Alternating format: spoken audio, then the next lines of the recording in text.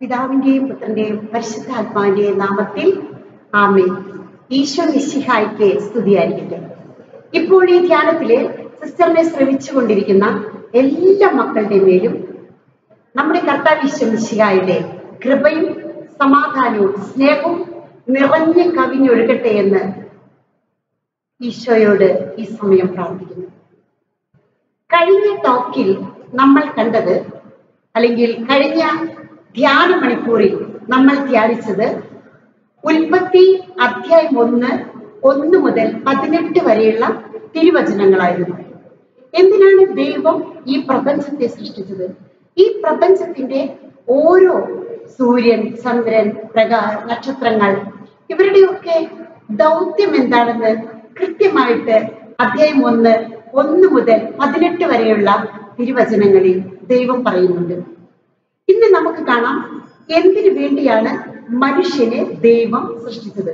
നമുക്കറിയാം ഉൽപ്പത്തി പുസ്തകത്തിൽ തന്നെ പറയുന്നുണ്ട് ദൈവം സ്വന്തം ഛായയിലും സാദൃശ്യത്തിലുമാണ് മനുഷ്യനെ സൃഷ്ടിച്ചത്.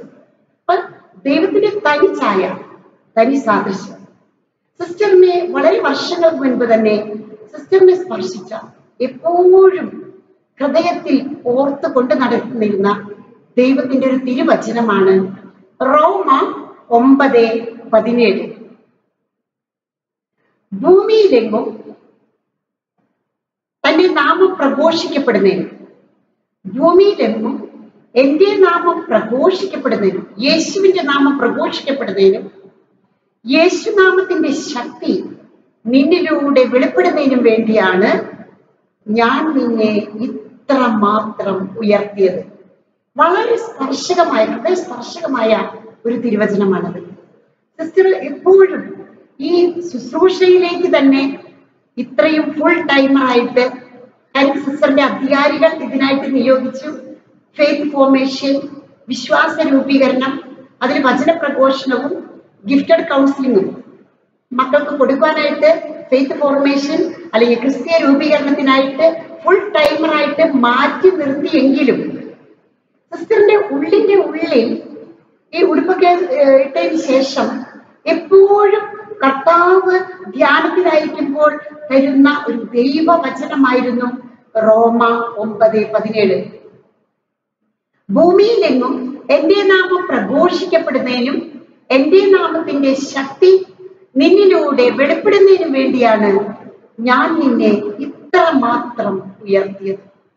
ഈ വചനം പറയുന്നോറും ഭയങ്കര സന്തോഷമാണ് അനുഭവപ്പെടുന്നത്. ഇതാണ് നമ്മുടെ ദൗത്യം. ഒപ്പം തന്നെ ദൈവം കൂട്ടിച്ചേർത്ത് പറയുകയാണ് റോമ ഒമ്പത് പതിനാറ്.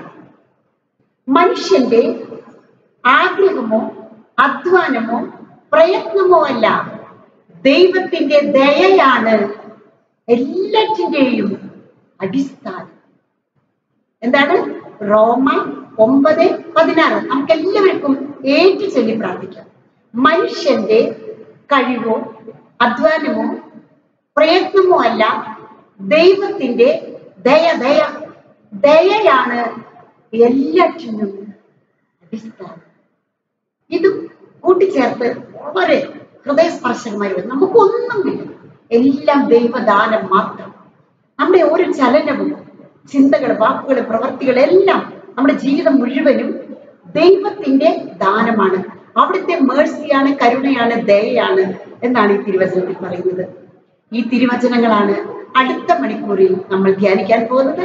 എല്ലാവർക്കും റോമ ഒമ്പത് പതിനേഴ് ഒമ്പത് പതിനാറ് എടുത്ത് പിടിച്ചുകൊണ്ട് ഈ ധ്യാന മണിക്കൂറിൽ ഈ രണ്ട് തിരുവചനങ്ങളും നമ്മുടെ മനസ്സിൽ പല പ്രാവശ്യം നമ്മൾ അത് ഇപ്പോൾ ഏറ്റു പറഞ്ഞുകൊണ്ട് ദൈവസന്നിധിയിൽ ഇരുന്നു കൊണ്ട് നമുക്ക് ധ്യാനിച്ച് കർത്താവിന്റെ കൃപ ഈ വചനത്തിന്റെ അഭിഷേകം വചന അഭിഷേകം നിറയുവാനായി അതുവഴി കൃപ അഭിഷേകം നിറയുവാനായി നമുക്കിപ്പോൾ ധ്യാനിക്കാം പ്രാർത്ഥിക്കാം. എല്ലാവരെയും ദൈവം സമൃദ്ധമായിട്ട് അനുഗ്രഹിക്കട്ടെ. വചനത്തിന്റെ അഭിഷേകം വന്ന് നിറയട്ടെ എന്ന് പ്രാർത്ഥിച്ചുകൊണ്ട് പിതാവിന്റെയും പുത്രന്റെയും പരിശുദ്ധാത്മാവിന്റെയും നാമത്തിൽ ആമേൻ.